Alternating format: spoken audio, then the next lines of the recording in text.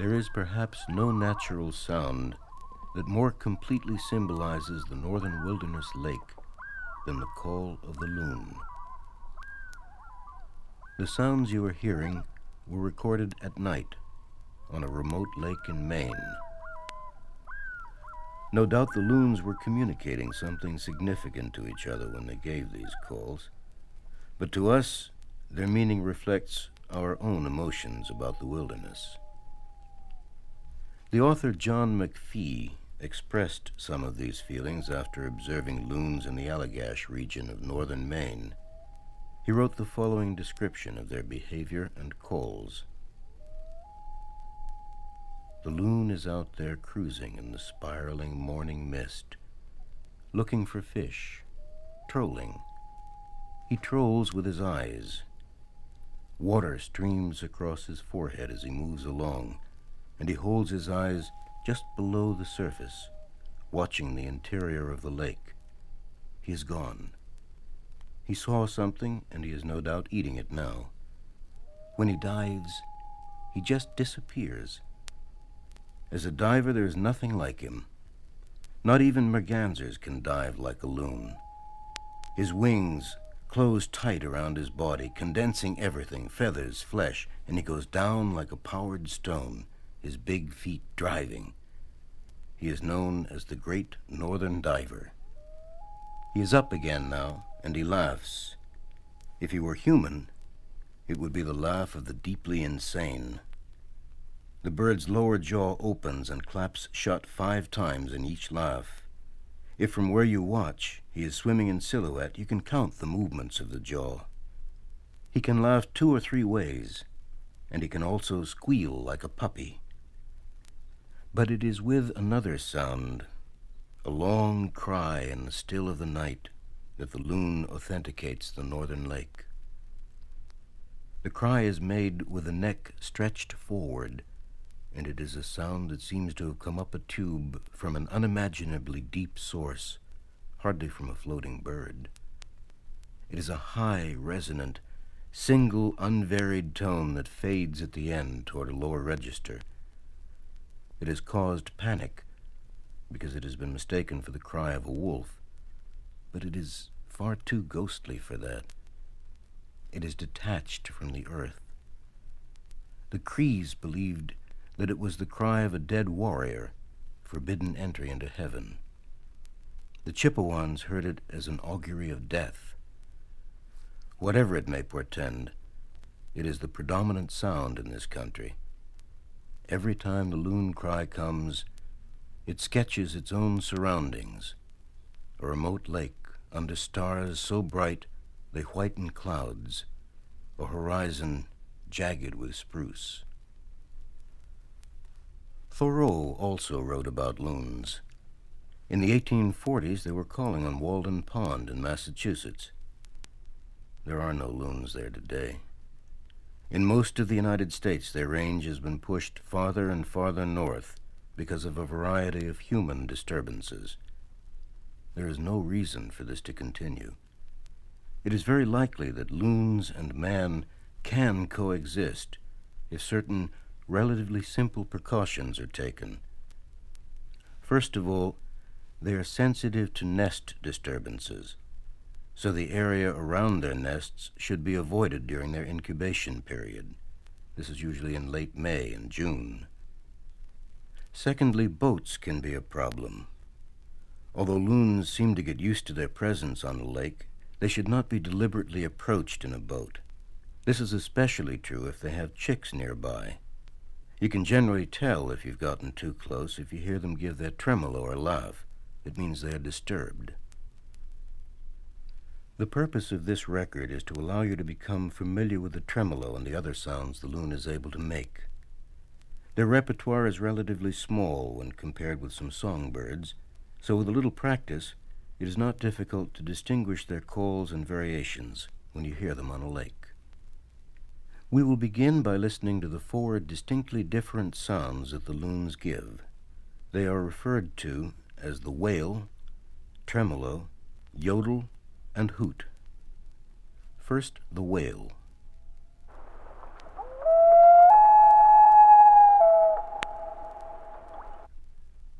Now the tremolo.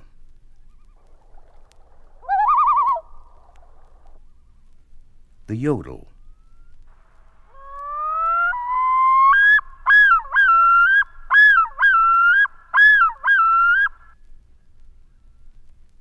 And finally, the hoot.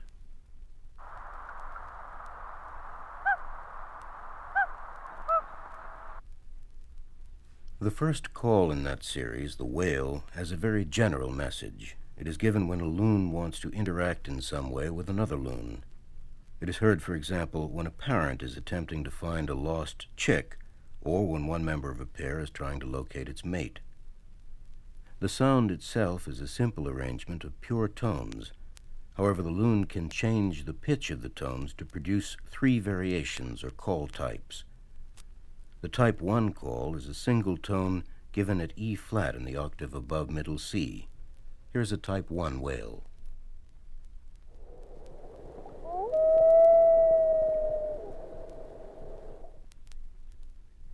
The type 2 wail begins at the same pitch as the type 1, but then quickly jumps about three notes higher. The call then either ends at this point or drops back to the original pitch. The type 2 wail with the two different endings.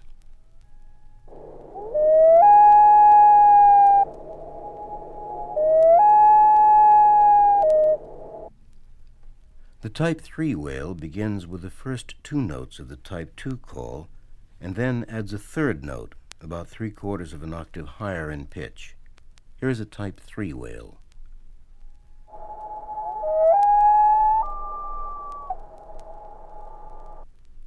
In the field, then, you can distinguish the three call types by listening for the highest note in the call. Here's the Type 1 call, the two versions of the Type 2, and the Type 3, played one after another.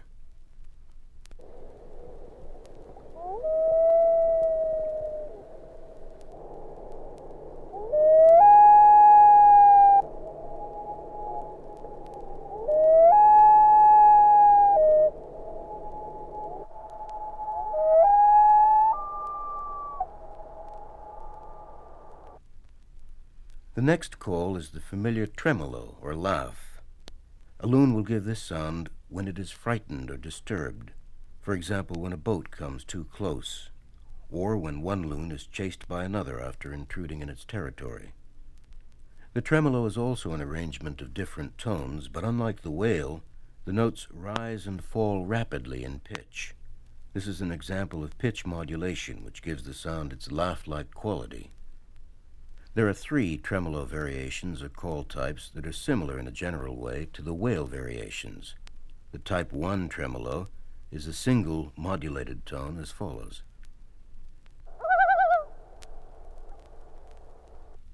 The type 2 tremolo begins at the same pitch as the type 1 call, but then jumps about a third of an octave.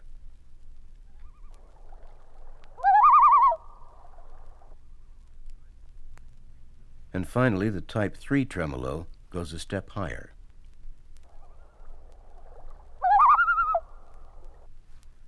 It takes somewhat more practice to distinguish the three tremolo variations because the pitch changes occur so rapidly. Birds, however, have a finer sense of time and so presumably have no difficulty in distinguishing the call types. We will now hear the three tremolo variations played at normal speed and then slowed down to one-half speed to approximate the way the loon hears the temporal features of the call. First, normal speed.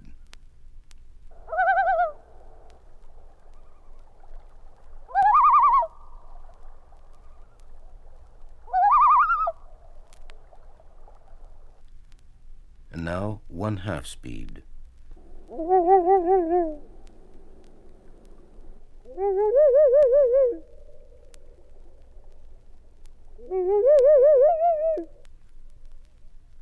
Tremolo is also given in the air. It is the only call the loon makes while flying.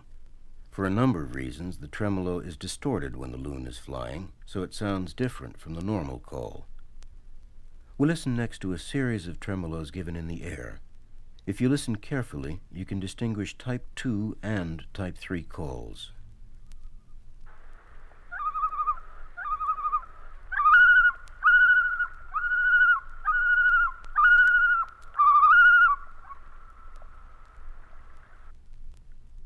The third call is the yodel, by far the most complex sound the loons make. It is an aggressive call that is given only by males. It is heard most frequently in the spring and early summer when the loons are establishing or attempting to maintain their territories. It is given, for example, during border confrontations between neighboring males, or when a resident male confronts an intruding loon.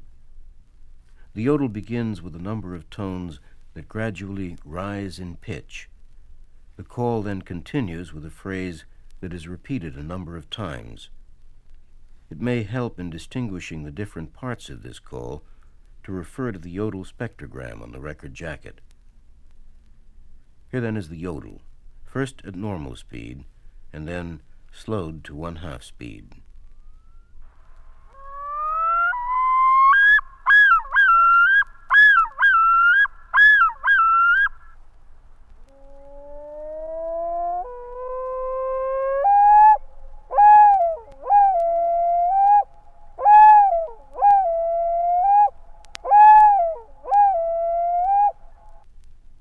Number of repeated phrases can be varied from one to more than nine.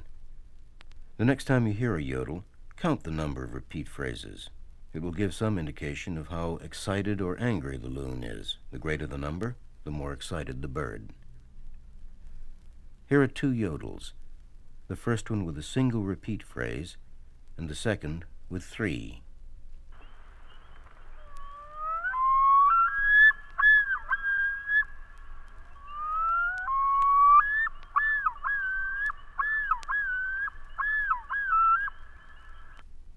Besides communicating aggression, the yodel also contains information about the identity of the individual giving the call. In a small population, the yodel is a sort of name tag which a loon may use to identify neighboring males. Research also indicates that an individual's yodel does not change from one year to the next, so by recording yodels each spring, it may be possible to determine if the same males are returning. Listen now to the yodels of two different males that in this case have very different sounding calls.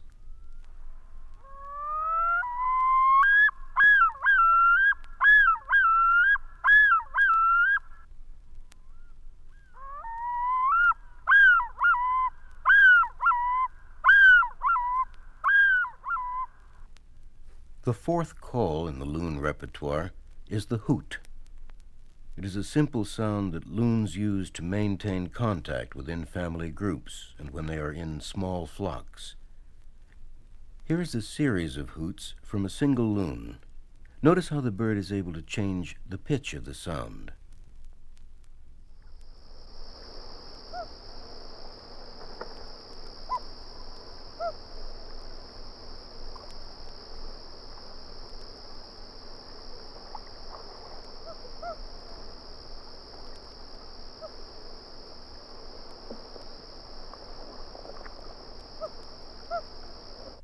We have now heard four distinctly different calls and their variations.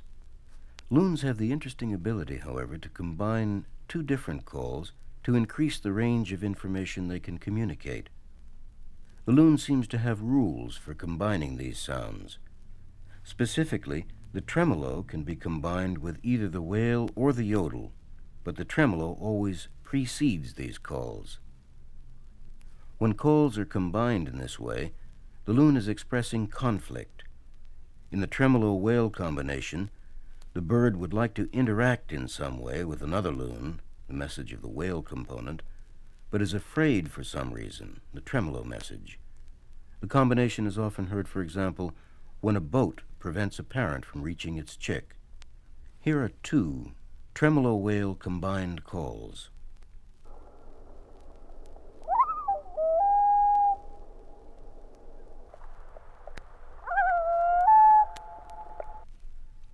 When the combination is tremolo yodel, the conflict is one of fight, the message of the yodel component, versus flight, the tremolo message. You might hear this combination near a border between two territories. A lone aggressive male from one territory will suddenly find himself confronting both the male and female from the neighboring territory. The single male may continue to defend his border but will be somewhat intimidated by the opposing pair. Here is an example of the tremolo-yodel combination.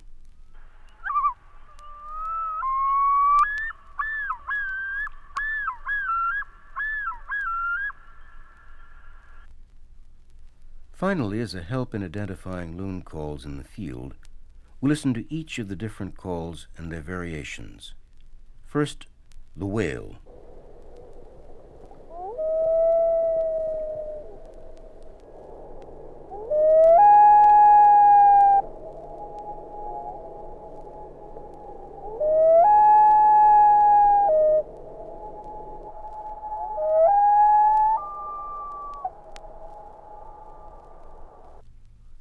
Tremolo, or laugh.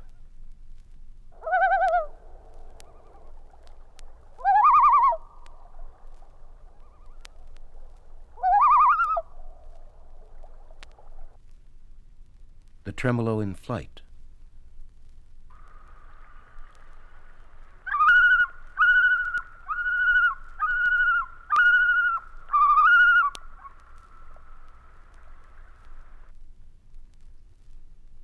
The yodel.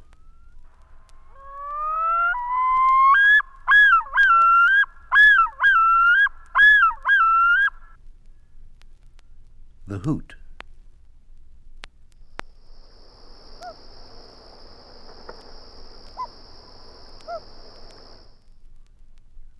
The combined tremolo wail.